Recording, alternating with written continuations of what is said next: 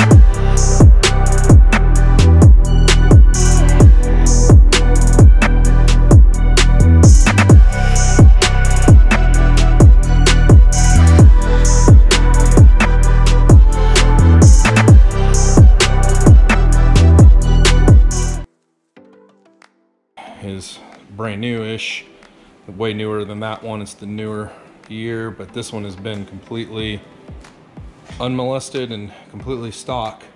Still has a stock head unit stock speakers and everything so this one will be a lot easier to do because nothing has been altered or changed which will be really nice. So that way we don't have to worry about going behind somebody and doing their work afterwards these are the stock Can-Am, guess you would call them just little decorative pieces.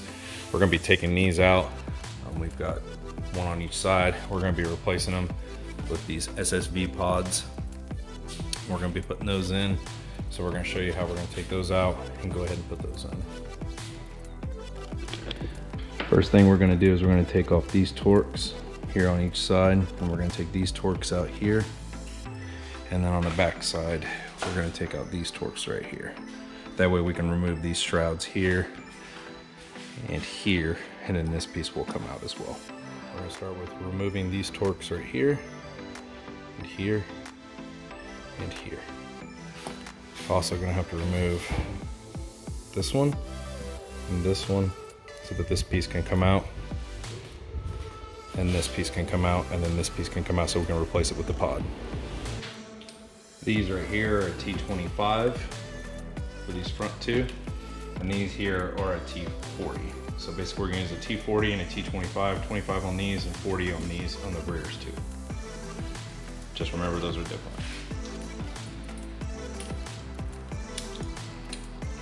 Now we're gonna go to the T40. We're taking both these T25s off, so now we're gonna take the T40s off.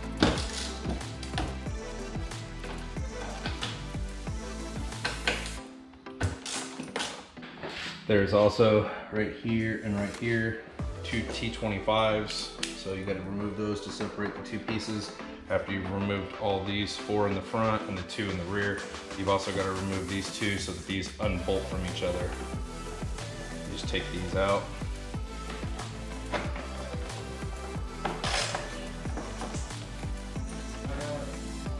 You can just draw you can just draw them by hand if you want.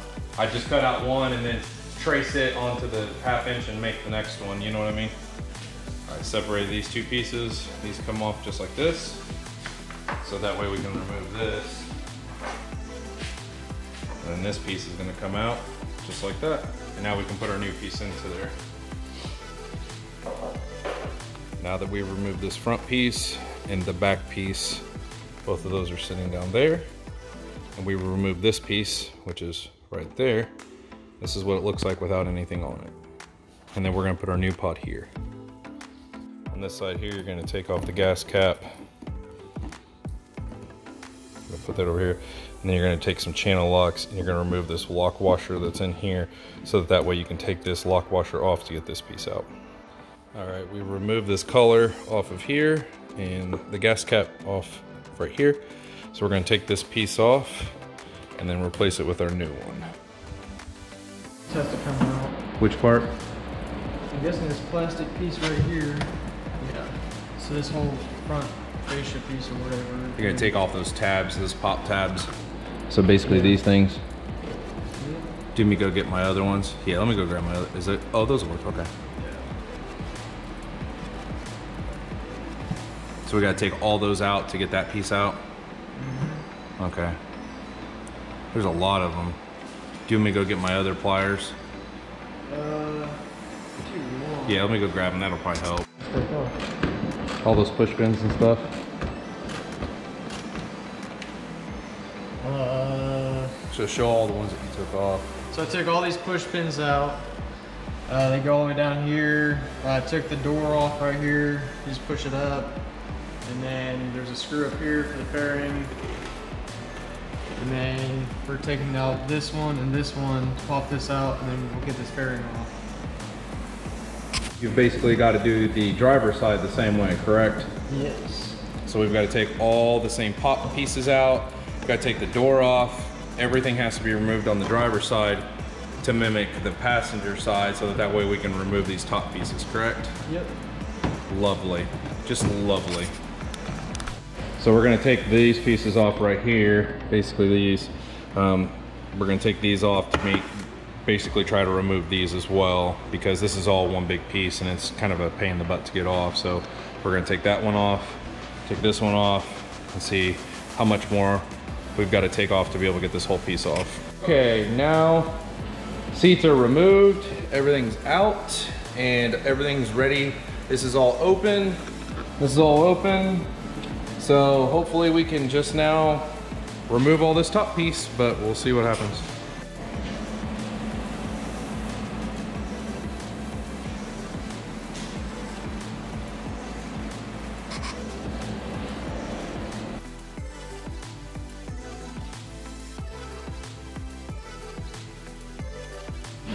Okay, so let's talk about how amazing this SSV beautiful box that we paid almost $350, $400 for. Here's their instructions. Um, this is the only part of the instructions that says how to mount the sub.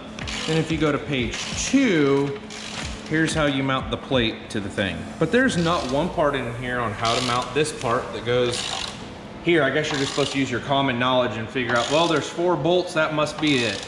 It doesn't tell you anywhere on how to mount these side pieces. So you just gotta look at the picture and go, that looks about right. So let's just go for it. So ordering this SSV, maybe we're missing some pictures or we're missing some pages, but it does not tell you how to mount these. It does not tell you how to mount this. It does not tell you how to mount this. So just be fair warned, the instructions are very vague. It does not tell you a lot of stuff. Also, it tells you that if you wanna buy this extra harness from them, that's separate, so you gotta buy that. But basically, if not, cut these off and use them as your wires, but that's, that's their prerogative. So we are uh, trying to do this all and make it all look nice so that we can bolt it into the slingshot. Basically, we've come to the conclusion that you must take out the whole entire rear section of the slingshot to get this box just to fit. Now, we have figured out within the past couple of weeks that they've came out with a new box that just slides right in. So from this point forward, I will not be ordering this box. I will be ordering the box that just slides right in because this is ridiculous to put a speaker box into a slingshot. I mean, you literally have to dismantle the whole damn thing to get this thing to fit. So we won't be doing this anymore.